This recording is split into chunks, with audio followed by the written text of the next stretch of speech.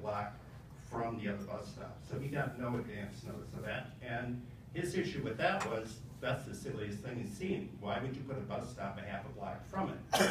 Checked with the Met Council, it was a temporary placement until the construction of your building was complete.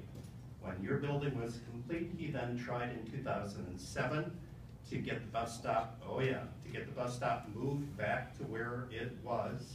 And at that time, as some of you had said, you were very successful in convincing the city council member from the district to resist that, and then And ultimately, Council. yep, ultimately the staff person from that council didn't move that.